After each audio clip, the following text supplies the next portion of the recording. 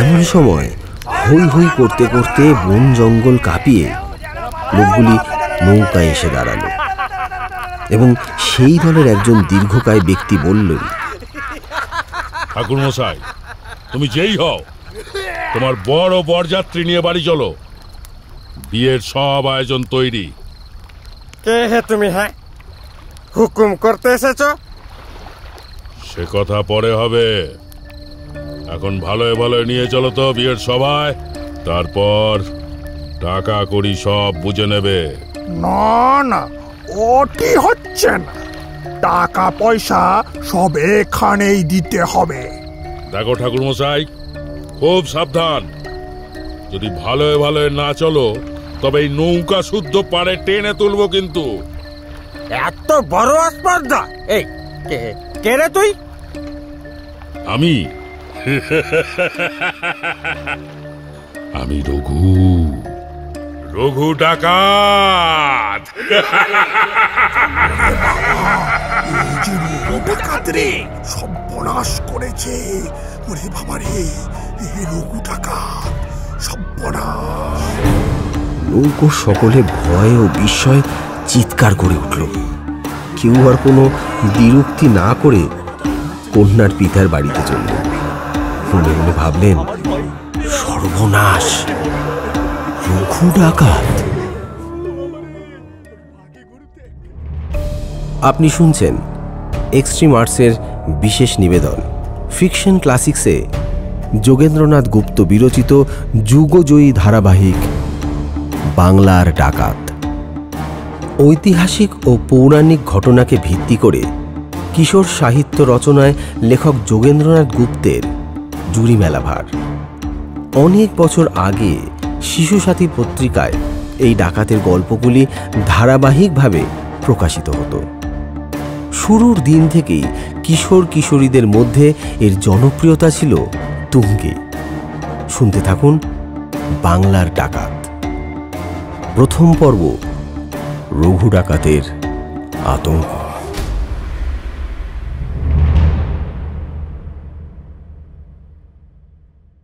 রঘু ডাকাত।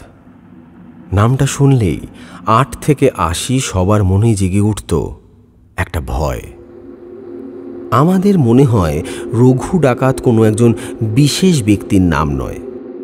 রঘু ডাকাত শব্দটি একটা কিংবদন্তি হয়ে রয়ে গেছে ভারতবর্ষ তথা এই বাংলার বুক জুড়ে। এই নামেই অনেক ভিন্ন ডাকাতির কাহিনী ছড়িয়ে রয়েছে। রঘু ডাকাতের নামে লোকে একসময় ভয় ভয় দিন কাটাত। রঘু ডাকাতের বাড়ি কোথায় ছিল কেউ ঠিকভাবে বলতে পারতো না। কেউ বলতো নদিয়া জেলায়, কেউ বলতো হুগলি, কেউ বলতো চন্দননগর। সে কোনো একটা নির্দিষ্ট স্থানে থাকতো না বলে নানা জনে নানা স্থানে তার বাড়ি নির্দেশ করত। রঘুর এভাবে থাকবার প্রধান কারণ ছিল ধরা পড়বার ভয়।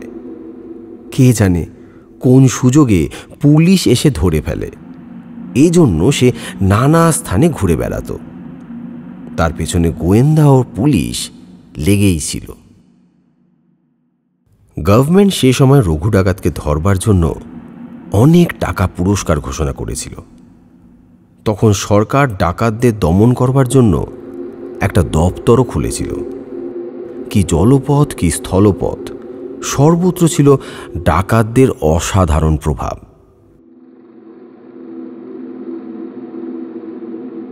হুগলি, বর্ধমান, নদিয়া, বারাসাত, চব্বিশ পরগনা, হাওড়া, চন্দননগর, কলকাতা সর্বত্র ডাকাতির জন্য কি ধনী, কি মধ্যবিত্ত, কি দরিদ্র, কেউ শান্তিতে বাস করতে পারত না। রঘু ডাকাতের সম্বন্ধে নানা রকম গল্পগুজব প্রচলিত ছিল। সেও তার দলের লোকেরা রনপা করে রাত্রিতে বিশ পঁচিশ মাইল দূরে কারও বাড়িতে ডাকাতি করে আবার নির্বিঘ্নে সেই রাত্রেই ফিরে আসত। সেকালে নদিয়া, হুগলি, কলকাতা ও চব্বিশ পরগনার অনেক স্থানই ছিল বন জঙ্গলে ভরা। রঘু ডাকাত একজন বিখ্যাত লাঠিয়াল দস্যু ছিল। তার হাতে সর্বদা একখানা দীর্ঘ লাঠি থাকত। তার দলের ডাকাতরা লাঠি, তরোয়াল, ঢাল, বল্লম ও সরকি নিয়ে ডাকাতি করতেছিল দক্ষ। শিকারী নামে একদল লোক রঘু ডাকাতের দলে ছিল। কৃষ্ণনগরের একজন রাজা লখনৌ থেকে শিকারীদের এদেশে আনেন। তখন কৃষ্ণনগরের চারিদিকে ছিল গভীর বন জঙ্গল। সেই বন জঙ্গলে নানা জাতীয় হিংস্র জন্তুর বাস ছিল। রাজা প্রথমে তাদের এই সব বন্যজন্তু শিকার করবার জন্য এদেশে এনে বসতি দিয়েছিলেন। সেই থেকে শিকারীরা কৃষ্ণনগরের চারিদিকে বাস করত। তাদের জীবিকা নির্বাহের উপায় ছিল পশু শিকার ও ডাকাতি। শিকারীদের বংশ বৃদ্ধি যখন পেল, তখন তারা ডাকাতের দলে যোগ দিল। ডাকাত দলের সকলেই ছিল কালীর উপাসক। কি হিন্দু দস্যু, কি মুসলমান দস্যু, সকলেই কালীর পূজা করে ডাকাতি করতে বের হতো। হে মা কালী করাল বদনী, ব্রহ্মস্বরূপিণী মা, শক্তি দে মা, শক্তি দে, শক্তিময়ী। যেন জয়ী হয়ে ফিরতে পারি মা মা গো, মা।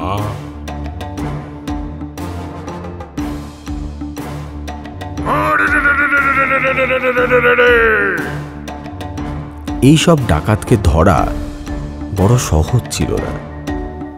এদিকে পুলিশ, ফৌজ তাড়া করলে তারা চন্দননগরে পালিয়ে যেত।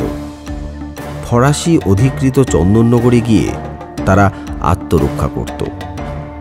রঘু ডাকাতের উপদ্রব বিশেষ করে নৈহাটি থানা ও বারাসাতের কদমগাছি থানা এবং হুগলি চব্বিশ পরগনা পর্যন্ত বিস্তৃত ছিল। সেই সময় নৈহাটি থানায় দুর্গাচরণ চক্রবর্তী এবং কদমগাছি থানায় শিবচন্দ্র বন্দ্যোপাধ্যায় নামে দুইজন নামকরা দারোগা ছিলেন। তাদের উপর কর্তৃপক্ষের আদেশ ছিল। যেমন করিয়া পারিবে এই রঘু ডাকাতকে ধরিতে হইবে। আদারওয়াইজ তোমাদের সকলের চাকরি নিয়ে টানাটানি হইবে। বে কেয়ারফুল কিন্তু তারা নানা রকম চেষ্টা করেও রঘু ডাকাতকে ধরতে পারছিলেন না। একবার দারোগা দুর্গাচরণ একখানা চিঠি পেলেন। মহাশয় আশা করি কুশলে আছেন। আপনার সঙ্গে আমার খুব শীঘ্রই দেখা হইবে। প্রস্তুত থাকিবেন, ইতি সেবক রঘুনাথ।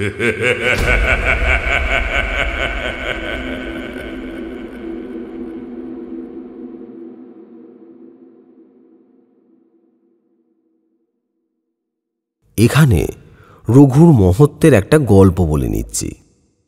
চূর্ণী নদীর তীরে একটি ছোট্ট গ্রাম। সেখানকার এক দরিদ্র ব্রাহ্মণের কন্যার বিয়ে। বিয়ে বাড়িতে লোকজন হই হই করছে। বড় বরযাত্রী নদীর ঘাটে এসে নৌকো বেঁধেছে। সন্ধ্যা হয়ে গেল, লগ্ন সমাগত। কিন্তু বর কর্তা বলছেন, না না, এভাবে হতে পারে না। আমার পণের পুরো টাকাটা না পেলে কোনো রকমেই বরকে নিয়ে আসব না। এই আমার শেষ কথা বলে দিলাম। সেকালের কুলীন ব্রাহ্মণদের কৌলিন্য মর্যাদা না পেলে বর বিয়ে করত না। কুলীনের ছেলের মেয়ের অভাব কি? এক লগ্নে তো দশটা বিয়ে সে করতে পারবে। কাজেই বর কর্তা নির্বিকার। বিয়েবাড়ির আলো যেন এক নিমেষেই মলিন হয়ে গেল। কন্যা কন্যাদায়গ্রস্ত পিতা কাঁদতে লাগলেন। এমন সময় এক দীর্ঘকায় ব্যক্তি হাতে একটা লম্বা লাঠি চণ্ডী মণ্ডপের ভেতর বসে ব্রাহ্মণকে কাঁদতে দেখে বললেন নাম হই ঠাকুর। বলি, কাঁদছ কেন? কে তুমি বাবা। আরে আমি যেই হই না কেন? আরে তুমি বলো না ঠাকুর কাঁদছ কেন? আর আর বলো না বাবা আজ আমার ছোট মেয়ের বিয়ে। বর আর বরযাত্রী চণ্ডী নদীর ঘাটে এসে নৌকা বেঁধেছে। অনেক টাকা না পেলে বিয়ে করতে আসবে না বলছে গো। কি হবে বলো বাবা? আমি যে বড় গরিব মানুষ এত টাকা আমি পাবো কোথায় গো? মেয়েটা যে আমার মেয়েটা যে আমার লগ্ন বস্তা হয়ে যাবে গো আমার কি হবে গো? ও, এই কথা? চুপ করো চুপ করো। মা ঠাকুরদেরও চুপ করতে বলো। আচ্ছা ইয়ে, আহ, কত টাকা দিতে হবে? পা- পা- পাঁচশো টাকা বাবা। বেশ। কোনো গোল টোল করো না ঠাকুর। আমি বর আর বরযাত্রী নিয়ে হাজির করছি। আর টাকার জন্য ভেবো না সে সব ব্যবস্থা হয়ে যাবে। ব্রাহ্মণ আশ্বস্ত হলেন। চূর্ণী নদীর পাড়ে কয়েকখানি নৌকোয় বড় বরযাত্রীর দল জটলা পাকিয়েছিল। এত বড় অপমান তারা সইবে না। বরকর্তা বলছিলেন এত বড় অপমান! এ সহ্য করা যাবে না। চলো চলো সবাই বাড়ি ফিরে যাই চলো।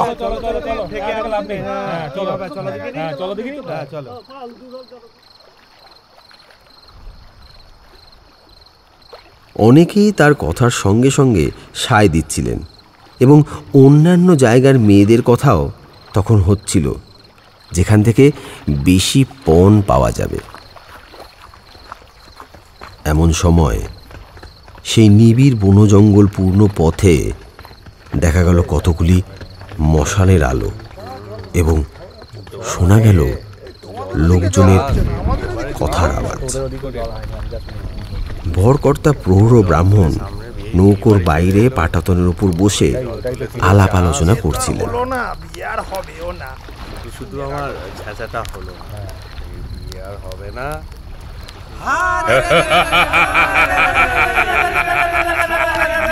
এমন সময় হই হই করতে করতে বন জঙ্গল কাঁপিয়ে লোকগুলি নৌকায় এসে দাঁড়াল।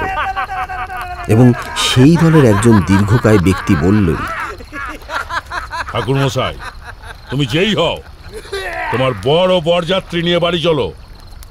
বিয়ের সব আয়োজন তৈরি। কে হে তুমি হ্যাঁ হুকুম করতে এসেছ? সে কথা পরে হবে। এখন ভালোয় ভালোয় নিয়ে চলো তো বিয়ের সভায়। তারপর টাকা করি সব বুঝে নেবে। না না ওটি হচ্ছে না। টাকা পয়সা সব এখানেই দিতে হবে। দেখো ঠাকুর মশাই খুব সাবধান। যদি ভালোয় ভালোয় না চলো তবে এই নৌকা শুদ্ধ পাড়ে টেনে তুলবো কিন্তু। এত বড় স্পর্ধা এই কে রে তুই? আমি। আমি রঘু। রঘু ডাকাত। রঘু সর্বনাশ করেছে। ওরে বাবা রে রঘু ডাকাত সর্বনাশ নৌকো সকলে ভয় ও বিস্ময় চিৎকার করে উঠল। কেউ আর কোনো বিরক্তি না করে কন্যার পিতার বাড়িতে চলল। মনে মনে ভাবলেন সর্বনাশ রঘু ডাকাত।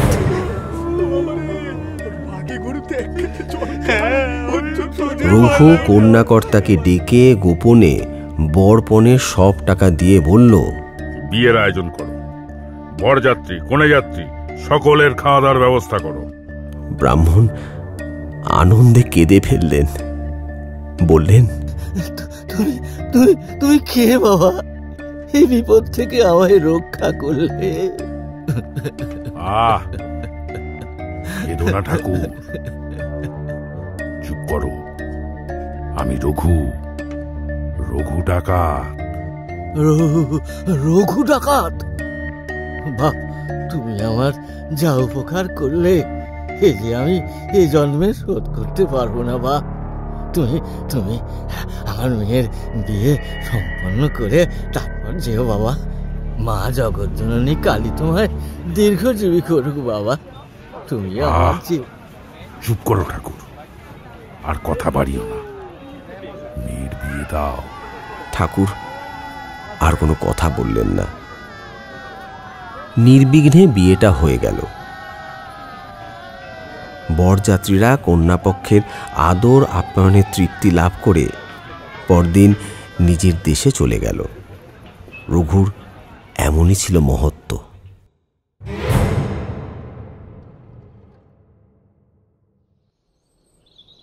দুর্গাচরণবাবু একদিন থানায় বসে গড়গড়া টানছিলেন এবং ডাকাতি নিবারণের পথ খুঁজছিলেন। ম্যাজিস্ট্রেটের কড়া হুকুম ডাকাত ধরা চাই চাই। এমন সময় দেখলেন একজন জেলে খুব বড় দুটো রুই মাছ মাথায় করে থানার দিকে আসছে। জেলে সেই বিশাল মাছ দুটি থানার বারান্দায় নামিয়ে রেখে কাপড়ের খুঁট থেকে একখানি চিঠি বার করল এবং নমস্কার করে চিঠিটি দুর্গাচরণ বাবুর হাতে দিল। চিঠিতে লেখা ছিল দারোগা বাবু, নাতির অন্নপ্রাশন উপলক্ষে আমার পুকুরের মাছ ধরেছিলাম। আপনি আসতে পারবেন না জানিয়েছেন, তাই দুটি মাছ আপনার জন্য লোক মারফত পাঠালাম। লোকটি আমার বিশ্বস্ত প্রজা। সুখসাগরের জমিদারের সঙ্গে দারোগাবাবুর খুব বন্ধুত্ব ছিল। কাজেই তিনি সন্তুষ্ট হয়ে যে লোকটি মাছ এনেছিল, তাকে দুটি টাকা দিয়ে বিদায় করলেন। এবং বললেন তোমার বাবুকে বলো আমি মাছ পেয়ে খুবই খুশি হয়েছি। আমি দু চার দিন পর ওনার সঙ্গে দেখা করতে যাব। এই বলে দারোগাবাবু প্রচুর জলপান দিয়ে লোকটিকে বিদায় দিলেন। এই ঘটনার কয়েকদিন পরে দুর্গাচরণ বাবু আর একখানা চিঠি পেলেন। তাতে লেখা ছিল দারোগা বাবু একদিন বলেছিলাম আপনার সঙ্গে দেখা করে আসব। সেদিন দেখা করে এসেছি। তা মাছ কেমন খেলেন হ্যাঁ? ইতি সেবক রঘুনাথ। দুর্গাচরণ বাবু হায় হায় করে বলতে লাগলেন হায় হায় রে বেটা ফাঁকি দিয়ে চলে গেল। হাতের কাছে পেয়েও ফসকে পেলাম ওই জাগরেল ডাকটাকে। গঙ্গার পাড়ে নৈহাটির কাছে এক পল্লীতে একজন ধনী সম্ভ্রান্ত ব্যক্তির একটা বাগান বাড়ি ছিল। ব্যক্তির নাম ছিল বিনোদবাবু। বিনোদবাবু এই বাগান বাড়িতে প্রায় বন্ধু বান্ধব ও আত্মীয় স্বজন নিয়ে আমোদ আহ্লাদ করতেন। গঙ্গার পাড়েই ছিল বাগান বাড়িটি। নিচ দিয়ে গঙ্গা কুলকুল স্বরে বয়ে যেত। আম, কাঁঠাল, লিচু, নারকেল, এইসব বড় বড় গাছ বাগানের শোভা বৃদ্ধি করেছিল। বিনোদবাবু ধনী জমিদার মানুষ। বড় শখ করে এই বাগান বাড়িটি তৈরি করেছিলেন। প্রায় তিনি এখানে আসতেন। একবার বন্ধু বান্ধবদের সঙ্গে আলাপ আলোচনা ও কথা প্রসঙ্গে রঘু ডাকাতের কথা উঠল। বিনোদবাবু বললেন শুনেছি রঘু অতি দুঃসাহসিক ডাকাত।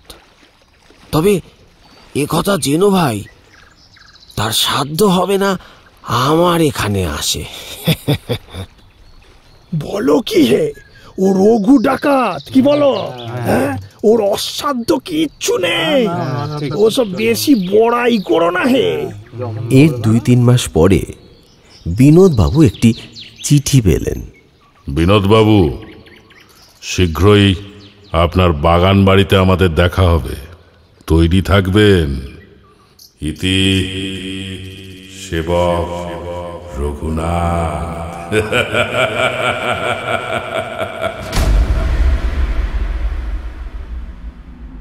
বিনোদবাবু তো চিঠি পেয়ে অবাক। তিনি বুঝতে পারলেন, যেভাবেই হোক, রঘু ডাকাতের কানে তার সদম্ভ উক্তিটি পৌঁছেছে। তিনি আর কাল বিলম্ব না করে কলকাতা পুলিশের উপরওয়ালাদের নিকট এবং নৈহাটি থানার দারোগাকে চিঠির মর্ম জানিয়ে একটা পত্র দিলেন।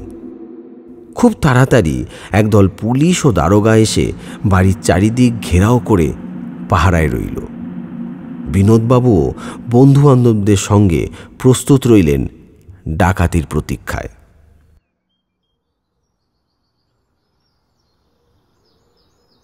এদিকে সকালবেলা একজন ভদ্রলোক বিনোদবাবুর সঙ্গে দেখা করতে আসলেন। তিনি একটা বড় রকমের দামি ফিটান গাড়ি করে এসেছেন। দারোয়ান সসম্ভ্রমে ভদ্রলোককে বিনোদবাবুর কাছে নিয়ে এলো। তখন বিনোদবাবু, দারোগা, দুর্গাচরণ ও অন্যান্য ভদ্রলোকের সঙ্গে রঘুর সম্বন্ধেই আলোচনা করছিল। ভদ্রলোক বিনোদবাবুর ঘরে এসে তাকে নমস্কার করে ফরাসের এক পাশে বসলেন। নবাগত ভদ্রলোক দীর্ঘকায়, কৃষ্ণবর্ণ, মাথায় বাবরি চুল, ঢাকাই মসলিনের ফতুয়া গায়ে। সেই পাতলা মসলিনের ফতুয়ার ভেতর হতে সোনার হার দেখা যাচ্ছে। বলিষ্ঠতার শরীর, বয়স পঞ্চাশের কাছাকাছি। বিনোদবাবু বললেন আচ্ছা আপনার কি প্রয়োজনে এখানে আসা মশাই? আগে ত্রিবেণীর কাছে আপনার যে ছোট তালুক আছে শুনেছি আপনি সেটি ভাড়া দেবেন। আমাকে দিলে বড় উপকার হয় আর কি। আমি সেজন্যই আপনার সাথে কথা বলতে এলাম। অধমের নাম ঈশ্বরচন্দ্র ভট্টাচার্য বাড়ি সুকচরে ব্যবসায়িক বিষয় নিয়ে তর্ক বিতর্কের পর বার্ষিক জমা কত হবে তা স্থির হয়ে গেল। ভদ্রলোক আগাম বায়নাস্বরূপ একশো টাকা দিয়ে সকলকে নমস্কার করে প্রস্থান করলেন। বিনোদবাবু টাকা নিয়ে সেরেস্তা কর্মচারী মারফত যথারীতি রসিদ দিয়ে নিজের নাম সই করে দিতে ভুললেন না। এইভাবে সপ্তাহ কেটে গেল। বিনোদবাবু গর্ব করে তার বন্ধুদের বলতে লাগলেন কই হ্যাঁ হ্যাঁ? কোথায় তোমার রঘু ডাকাত? আমার এখানে আসবে হ্যাঁ? আমার এখানে। ওয়ে এখনও সময় যায়নি। সাবধানে হ্যাঁ, থেকো। সাবধানে থেকো। হ্যাঁ, এই বলে দিল। আসবে না। তখন বুঝতে পারবে। হ্যাঁ। সত্যি সময় যায়নি। একদিন অন্ধকার রাতে একখানি ছিপ নৌকো চুপি চুপি এসে বিনোদবাবুর বাগান বাড়ির গায়ে ভিড়ল। বাগানের প্রাচীরের গায়ে সারি সারি বড় আম, নারকেল, প্রভৃতি ফলের গাছ। কতগুলি গাছ একেবারে বাগানের মধ্যস্থ বাড়ির গা ঘেঁষেই ছিল। ছিপ থেকে একদল লোক ধীরে ধীরে দেওয়াল বেয়ে গাছের উপর উঠল এবং চুপি চুপি গাছ থেকে মাটিতে নেমে হামাগুড়ি দিতে দিতে বাড়ির কাছে এসে পড়ল। একজন দীর্ঘকায় ব্যক্তি সকলকে পথ দেখিয়ে নিয়ে যাচ্ছিল। খিড়কির দরজা দিয়ে একে একে সকলে উঠল। তারা দেখল, নিচে দারোয়ানরা সব ঘুমিয়ে পড়েছে। বাবুর শোবার ঘরের পাশে উপরের দরবার ঘরটির দেওয়ালে দারোয়ানরা তাদের তরোয়ালগুলি ঝুলিয়ে রেখে ঘুমাচ্ছিল।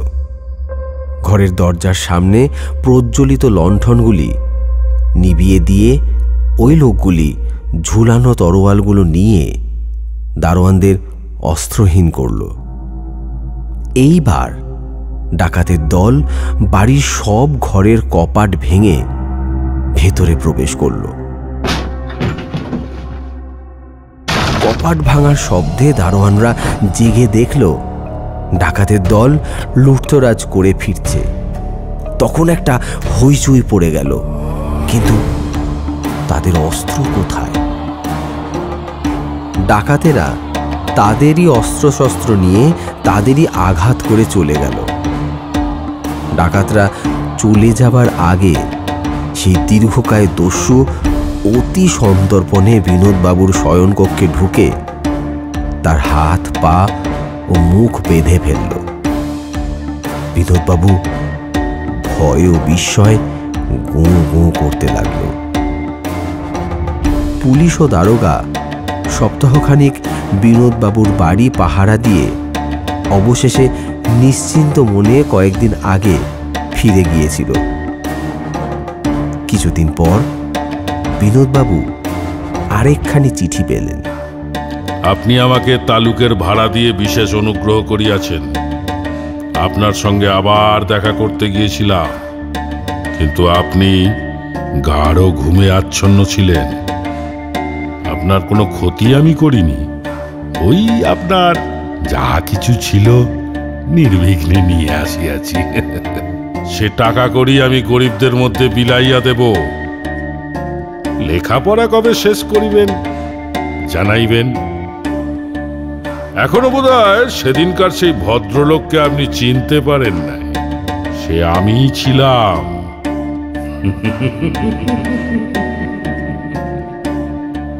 ইতি সেবক রঘুনাথ। লোকে বলে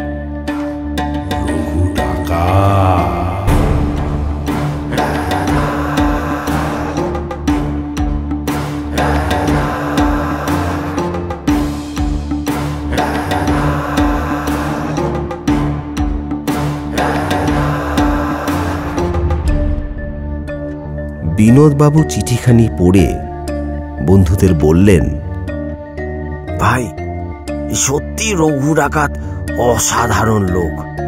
তবে সে আমার প্রজা হয়েছে। রঘু ডাকাত এমনই ছিল দুঃসাহসিক।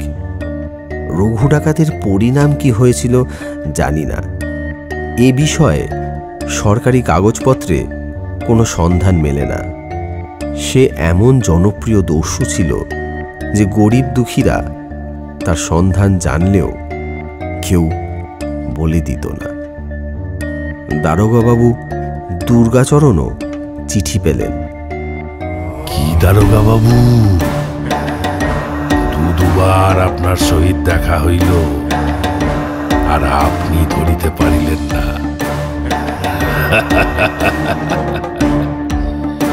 রঘুকে ধরা কি অতই সহজ হ্যাঁ? ইতি সেবক রঘুনাথ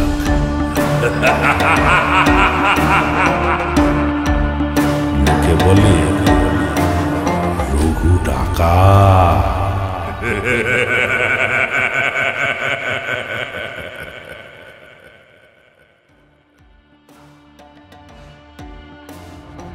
শেষ হল। যোগেন্দ্রনাথ গুপ্ত রচিত বাংলার ডাকাত এপিসোড ওয়ান রঘু ডাকাতের আতঙ্ক। গল্প পাঠে রূপম রায়, রঘু ডাকাতের ভূমিকায় সৌগত বন্দ্যোপাধ্যায়। অন্যান্য চরিত্রে তরুণ কর্মকার, বিকাশ, সঞ্জয় অর্ঘ্য ও দেবজ্যোতি। রেকর্ডিং, বিকাশ। ব্যবস্থাপনা, সঞ্জয়। আবহ সংগীত ও মিক্সিং মাস্টারিংয়ে আমি অর্ঘ্য সম্পাদনা শব্দ পরিকল্পনা ও সমগ্র পরিচালনায় দেবজ্যোতি।